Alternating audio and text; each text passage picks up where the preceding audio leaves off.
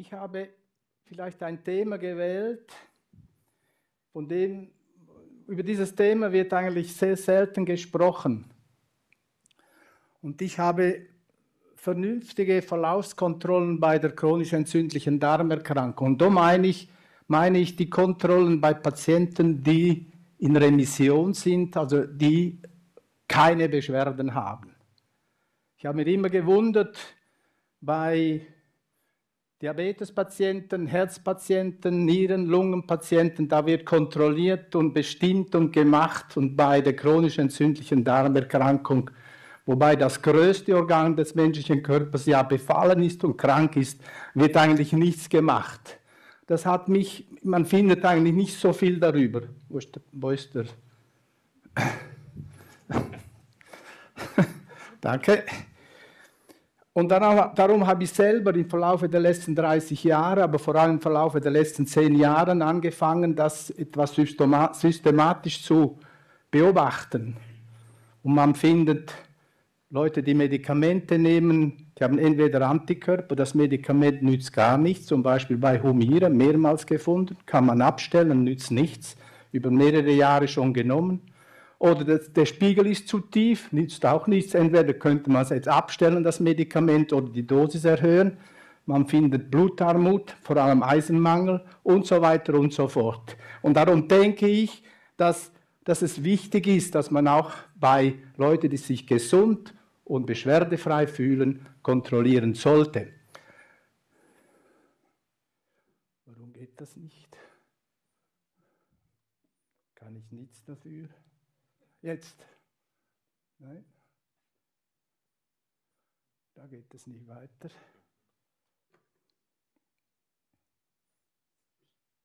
Gut. Ja.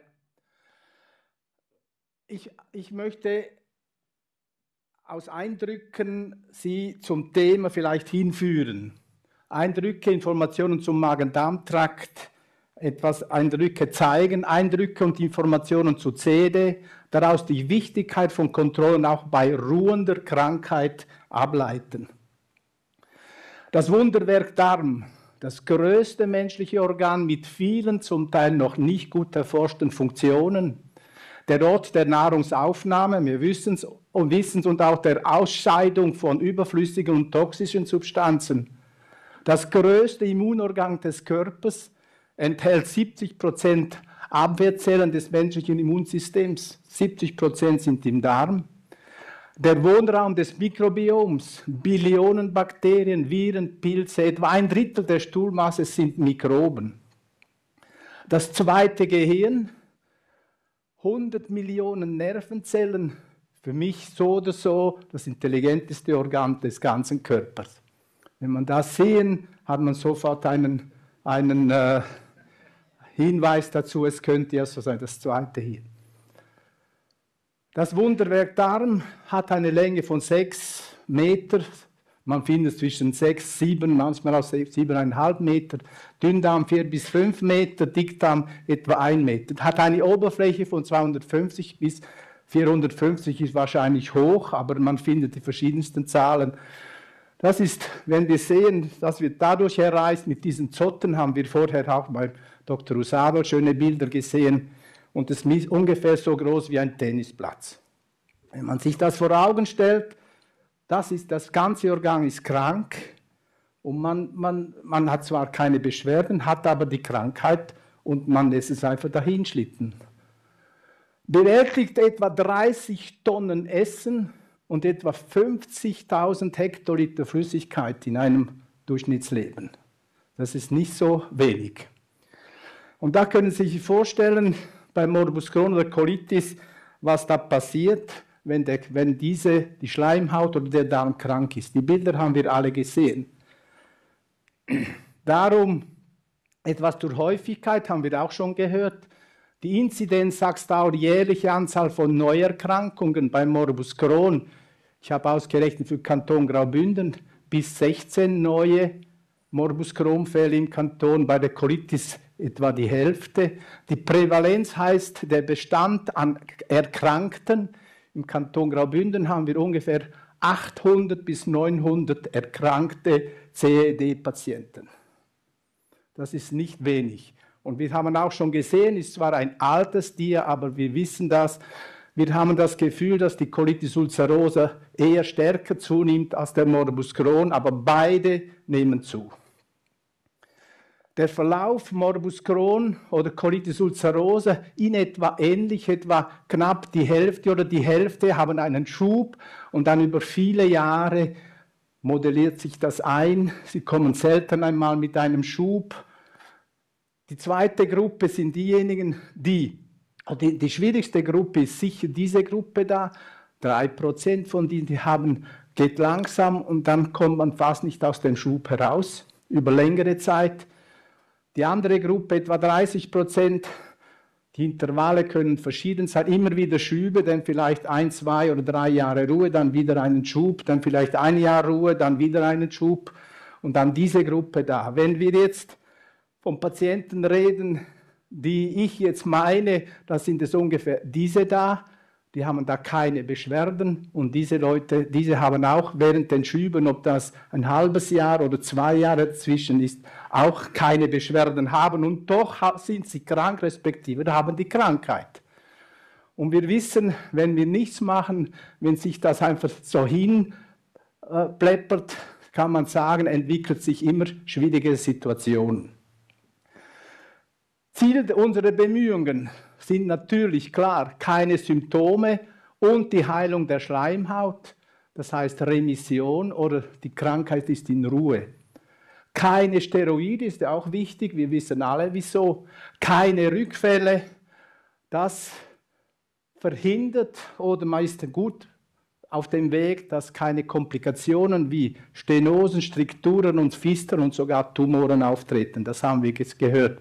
Und was macht das? Das steigert natürlich die Lebensfreude, die Lebensqualität zu Hause, in der Familie, am Arbeitsplatz und wo das auch immer ist. Darum braucht es Kontrollen. Und ich rede nochmals bei Remission, also bei Patienten oder bei Leuten, bei denen die Krankheit in Ruhe ist. Die Beschwerden, es ist ja klar, ich bin, so wie Lukas das auch schon gesagt hat, in der Regel, das ist meine Erfahrung aus den letzten 30, 40 Jahren, wissen die Patienten im allermeisten Fall, das ist ein Schub, das ist kein Schub. Sie spüren das, sie, sie kennen ihren Körper am allerbesten, da bin ich mir sicher. Das Wichtigste dabei ist, man muss, wichtig ist, nicht allzu lange zuzuwarten, wenn es, wenn, man, wenn es einem nicht klar ist. Nicht einfach Wochen, Monate irgendwie verstreichen lassen. Also das ist, die Beschwerden sind wichtig. Man darf schon einmal zwei, drei Wochen warten und sagen, oh, ich warte noch, das ist sicher kein Schub. Aber wenn man nicht sicher ist, dann sollte man. Dann das Labor. Wir haben ja gesehen, wenn wir gesehen haben, diese Schleimhäute, die krank sind, ich bin der Meinung, man sollte mindestens einmal jährlich das Hämoglobin, Eisen, B12, also Vitamin D, die Folsäure, das Calcium, Eiweiße, Kreatinin, die Nierenfunktion und die Leberwerte kontrollieren. Wir wissen, erhöhte Leberwerte können immer ein Hinweis darauf sein, dass die Leber auch krank ist. Es gibt ja die sogenannte sklerosierende Cholangitis. Das ist ein Nebenschauplatz der chronisch entzündlichen Darmerkrankung. Dann, ich habe schon gesagt, Blutspiegelmessung. Wenn man über Jahre TNF-Blocker nimmt, also Humire nimmt, irgendwann muss man wissen, eine, ein Anteil der Patienten entwickelt Antikörper, also dann können sie direkt Zuckerwasser nehmen. Es hat keine, die, die, Humire wirkt nicht, also kann man es weglassen oder muss weglassen, weil es nur Geld in den Rhein geschoben. Oder den Spiegel Beispiel, ein, entweder wenn der Spiegel zu tief ist, der Medikamente kann man, dann kann man es gleich weglassen und schauen, ob es geht ohne. Oder wenn es nicht geht, muss man den Spiegel anhören. Also ich habe schon mehrmals Patienten über mehrere Jahre mit gleichem, mit gleichem äh, Dosis, mit Antikörper gesehen. Einfach, ich glaube, das ist wichtig.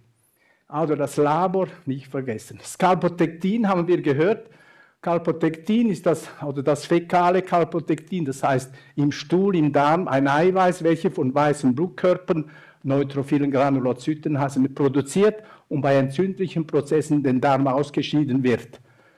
Wir wissen, ein Wert bei Patienten, bei Leuten mit einer chronischen entzündlichen Darmerkrankung unter 150 darf man als normal annehmen.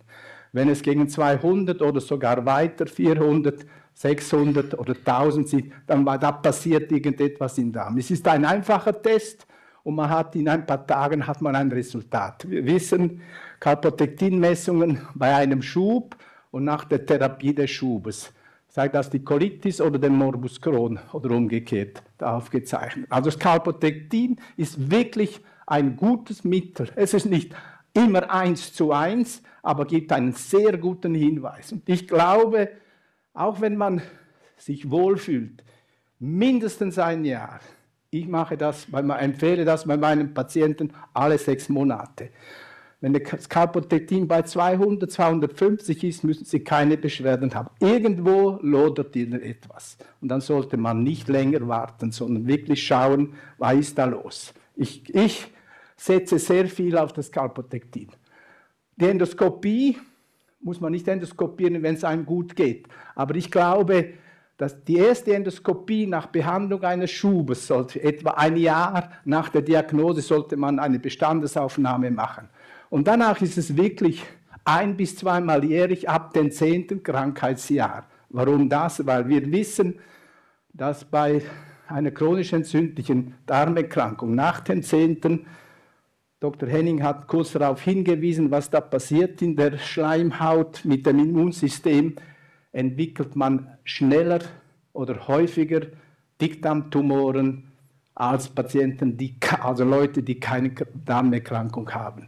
Je nachdem sagt man ein bis zweimal jährlich, je nachdem kann man auch einmal sagen, alle drei Jahre. Ultraschall ist wichtig, ich habe nur klein geschrieben.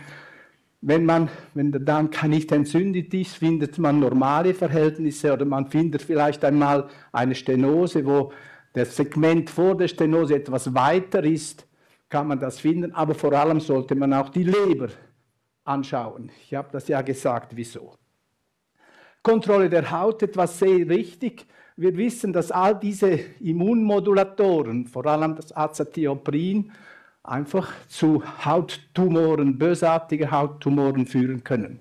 Also, es ist ganz klar, jährlich Patienten, die unter der Therapie mit Immunsuppressiva sind, sollte man jährlich einmal einen Dermatologen ausführen.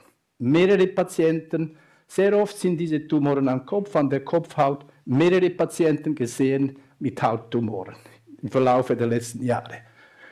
Knochendichte ist auch die Malabsorption von Calcium, von Vitamin D.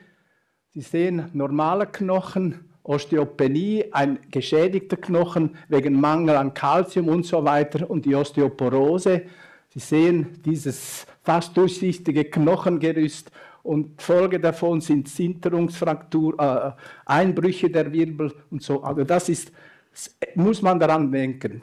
Eine Knochendichte-Messung erstmals früh in der Krankheitsgeschichte, die man hat, und nachher entsprechenden Empfehlungen, entsprechend dem Resultat der Untersuchung muss man behandeln, Vitamin D, Calcium und so weiter und die nächste Kontrolle nach zwei, drei oder fünf Jahren. Ein wichtiges Kontrollsystem. Die Schwangerschaft, im Moment betreue ich drei Patienten, die schwanger sind. Wichtig ist, wenn möglich, zusammen mit den Spezialisten, das heißt mit den Gynäkologen, die Schwangerschaft planen und auch vor der Schwangerschaft, während der Schwangerschaft und auch nach der Schwangerschaft die entsprechenden Kontrollen. Und das, was das Reisen an bedeutet, hat Lukas ja schon äh, vorher gut dargestellt. Also zusammengefasst, diese Punkte, glaube ich, sind wichtig bei Leuten, die keine Beschwerden haben, über längere Zeit keine Beschwerden. Man, man erwartet oder findet sehr oft Überraschungen. Vernünftige Verlaufskontrollen bei der CED, zusammengefasst, der Magen-Darm-Trakt ist mit all seinen Funktionen sehr komplex. Der Wissensstand darüber ist zum Teil noch sehr vage, bis noch nirgends vorhanden.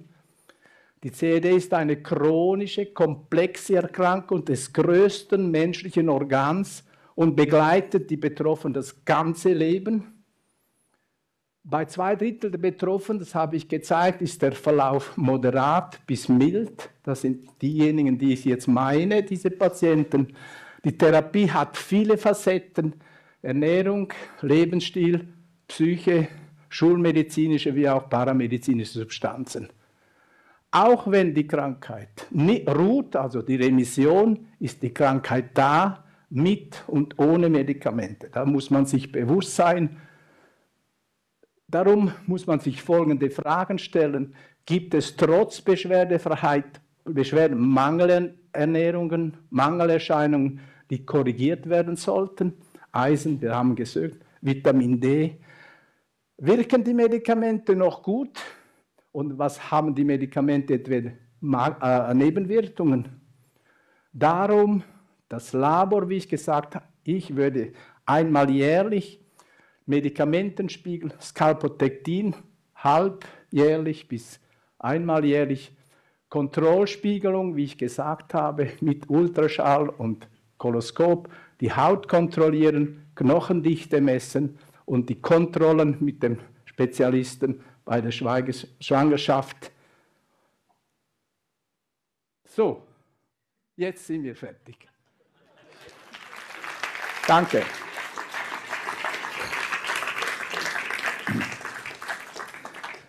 Dankeschön. Gerade eine Zeit aufgeholt. ich habe Gas gegeben. Ja, ist gut. Ähm, ich habe von außen gehört, dass äh, der Apero jetzt dann eigentlich parat ist. Ähm, ich würde gleich vielleicht kurz die Möglichkeit geben, ähm, Fragen zu stellen, wenn jemand Fragen hat. Ich mache vielleicht gerade den Start. Und zwar ähm, hat online jemand gefragt, ähm, betreffend veganer Ernährung. Lukas. ähm, ja, ob das hilfreich ist, ob das etwas nützt. Ähm. Ich mache auf Schweizerdeutsch. Also es gibt, äh, wie ich glaube, gezeigt habe, äh, ausreichende Erkenntnis davon, dass eine faserreiche, pflanzenlastige Ernährung sehr gut ist, einfach weil sie die guten Nährstoffe für unsere Darmbakterien bietet. Also in dem Sinne ist auch eine vegane Ernährung ähm, sicher besser als eine klassische westliche Ernährung. Gut. Ja. So ist besser. Also eine vegane Ernährung ist, ist äh, sicher sehr viel besser als eine traditionelle westliche Ernährung mit viel Fastfood, mit viel äh, verarbeiteten äh, Nahrungsmitteln, mit viel Zusatzstoff. Ähm, man muss aufpassen bei, die, bei jeder Ernährungsform. Äh, es muss genügend Protein zugeführt werden. Es dürfen ähm, auch bei veganer Ernährung keine Nährstoffmängel entstehen. Darum auch, wenn man sich mit einer veganen Ernährung eigentlich überwiegend gut ernährt, auch dort dranbleiben und, und äh, Nährstoffmängel frühzeitig erkennen. Ähm, die Studienlage zu ob vegane Ernährung auch als Therapieform kann eingesetzt werden ob sie das Auftreten von chronisch entzündlichen Darmerkrankungen verhindert. Ähm,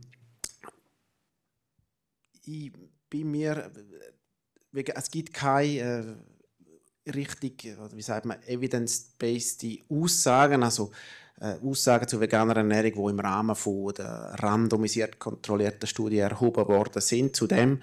Aber grundsätzlich will man bei veganer Ernährung auf Fleischprotein, auf äh, verzichtet und auf Gemüse und Pflanzen setzt, sicher äh, sehr äh, favorisi zu favorisierende Ernährungsform. Ähm, ich würde es aber nicht als Therapieform verwenden und ich würde auch unbedingt, wie ich gesagt habe, egal welche Ernährungsform, regelmäßig kontrollieren, ob ich Nährstoffmangel habe und das allenfalls ersetzen. Noch weitere brennende Fragen? Ja, super. Da? Äh, noch eine ganz kurz. Sie haben ja aufgezeigt, dass in Graubünden nach inneren Berechnungen die Zahl der Patienten erhöht ist im Vergleich zu anderen Kantonen? Oder auf was führen Sie das zurück? Kennen Sie da Vermutung? Und man hat generell auch gesehen zwischen den Ländern, es gibt große Unterschiede. Was ist Ihre Hypothese? Keine Hypothese, muss ich sagen. Ich habe jetzt die, die anderen, also ich habe auch in der Schweiz sind es ungefähr 1 pro 250.000 Einwohner ist die Inzidenz respektive Prä, äh, ist, ist Prävalenz von, von, von der chronisch entzündlichen Darmerkrankungen. Ich habe nicht überlegt, sind wir höher? Ich weiß es nicht, ob wir höher sind als nicht. Ist ungefähr, wir sind mit, mit 8, 8, 900 sind wir ein bisschen höher, das ist es so. Aber das sind auch die, die hohen Zahlen, habe ich genommen. Im Prinzip sollten wir im Kanton eigentlich weniger haben, weil wir, ich sage jetzt etwas, vielleicht nicht so steril aufwachsen oder noch nicht so steril aufwachsen, wie vielleicht, dass man sonst in diesen sterilisierten Zonen im Unterland aufwachsen. Ich weiß es nicht, aber ich, ich gehe dem noch. Also, es ist ein bisschen höher als, als der Schnitt, das ist ja so. Da haben wir noch einen. He? Ja. Also ich bin in der Gesellschaft relativ neu, hat auch ein bisschen Überwindung gebraucht, um daher zu kommen. Und ich weiß nicht, was ist zum Beispiel so ein eindeutiger Trigger oder wo, wo man wirklich muss sagen, okay, das ist nicht mehr normal. Dass bei mir nicht normal ist, weiß ich schon lange. Aber was ist so ein typischer Punkt, wo, wo Sie als Fachleute sagen, das muss abgeklärt werden? Also ich sage einmal, ihr könnt mich sekundieren noch sicher, wenn Sie blutigen Durchfall haben. Ich glaube, das ist nicht normal und da muss man suchen, wieso das ist. Ich glaube, wenn Sie Beschwerden haben über längere Zeit, Krämpfe, Brechreiz, Erbrechen, das ist sicher nicht normal. Da ist irgendetwas passiert im Magen-Darm-Trakt. Oder ich glaube schon. Ich, also ja, das sind so sicher die wichtigen. Fieber, hohes Fieber ist auch so etwas, wo man muss sicher sagen, wenn sie Gewicht abnehmen wie verrückt, ist sicher auch so ein Punkt. Oder, dass sie Nahrungsmittel nicht können aufnehmen das Gewicht. Sie essen zwar normal, es geht immer hinten raus alles und so. Das ist sicher, also Fieber, Gewichtsabnahme, Beschwerden, die sie nie hatten oder wieder haben, wie sie schon vielleicht sich gut erinnern beim ersten Schub. Also ich, meine Erfahrung ist, viele Patienten ist wie damals, als ich das erste Mal bei ihnen war, genau die gleichen Beschwerden habe ich heute. Ich glaube, das ist so klar. Und das haben wir schon x-mal bestätigt gekriegt. Ich, ich kann das nicht beweisen, aber wir haben es bewiesen. Wenn man geschaut und geschaut, es ist so. Also das ist, ich glaube, es ist manchmal schwierig. Was ist vielleicht Unverträglichkeit? Was ist vielleicht, wie viel macht, ich sage jetzt Psyche? Äh, äh, wie viel macht Psyche aus? Ich habe jetzt einen Patienten, der in einer schweren Depression ist mit Suizidgedanken, der hat natürlich einen Schub ausgelöst, hat viel mehr Beschwerden, obwohl jetzt sechs Jahre nie Beschwerden hatte. Ich glaube, Stresssituationen wissen wir auch, das kann einen Schub auslösen. Was macht die Psyche? Ich glaube, das wissen wir nicht. Das sind so Sachen, wo, wo der Patient selber am besten spürt. Aber eben die Kardinalsache ist blutiger Durchfall, Fieber, Gewichtsabnahme Schmerzen, wo wirklich die ganze Zeit oder Koliken, Brechreize, Erbrechen, haben die noch einen, Beitrag? Ja. Genau, also 30 bis 40 Prozent der Patienten mit chronisch entzündlicher Darmerkrankung haben auch ein sogenanntes, Reizdarm, sogenanntes Reizdarmsyndrom. Es gibt viel mehr Unverträglichkeiten wenn ihr Darm äh, angeschlagen ist, sage ich mal so, auch wenn sie aktuell keinen Schub haben. Es funktioniert einfach alles ein bisschen anders. Ihre Darmflora, ihre Bakterien, ihre Mikroorganismen sind anders. Und darum möchte ich nochmal zurückkommen zu meinem Vortrag. Tun Sie sich, wenn Sie sich ernähren, äh, tun Sie ein Tagebuch führen, um Ihre persönlichen Trigger erkennen, wo Ihnen Symptome auslösen. Ähm, das ist wirklich hilfreich. Das äh, meine ich nicht einfach so für Sie und auch für den behandelnden Doktor. Einfach, es bestehen sehr viel mehr Unverträglichkeiten, wenn Sie eine chronisch entzündliche Darmerkrankung haben oder auch ein Reiz, eh viel eher ein Reizdarmsyndrom, wo Symptome wie Durchfall, Blähungen, Bauchschmerzen kann imitieren. Aber Sie lernen sich kennen, wie der Baseli gesagt hat, und können das beurteilen im Verlauf. Weitere, Entschuldigung. Eine kleine Sache würde ich noch sagen. Wenn Sie damit schwanger gehen, dass Sie ähm, so eine Erkrankung haben könnten oder Sie sind sich unklar über Ihre Symptome, dann gibt es natürlich schon relativ wenige Untersuchungen, die Ihnen schon weiterhelfen können. Das ist eine Anamnese vom Doktor, der Erfahrung damit hat. Und dann natürlich die Chronifizierung, mal ein Durchfall, der mal alle drei, vier Wochen mal kommt, das kann es nicht sein. Aber wenn Sie eine Ultraschalluntersuchung machen, ein Kalprotektin im Stuhl, dann sind Sie ganz viel weiter und eine Anamnese und eine klinische Untersuchung bei Ihrem Hausarzt. Das ja, genau. kann der auch. Ja.